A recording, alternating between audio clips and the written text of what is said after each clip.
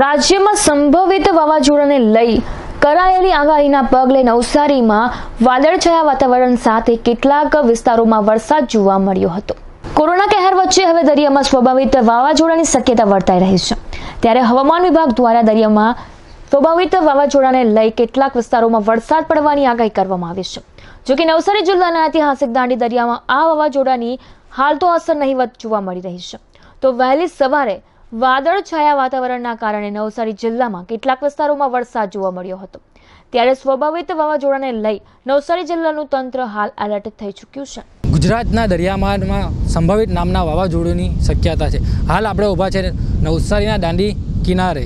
હાલ આપણે નવસારીના દાંડી કિનારે ઊભા છે ઊભા છે. નવસારીના દાંડી ખાતે એવી કોઈ અસર જોવા મળી નથી નથી. વહેલી સવારથી વાદળ છવાયું વાતાવરણ જોવા મળ્યું હતું. જે બાદ જિલ્લાના કેટલાક વિસ્તારોમાં વરસાદી માહોલ જોવા મળ્યો હતો, જેને લઈને નવસારીના ખેડૂતો ચિંતામાં મુકાઈ ગયા છે, મુકાઈ ગયા. જો કે દાંડીના દરિયા કિનારે હાલ આ વાવાઝોડુંની અસર જોવા મળી રહી. જો કે વાવાઝોડુંને લઈને વાવાઝોડુંને લઈને તંત્ર પણ એલર્ટ થઈ ગયું છે.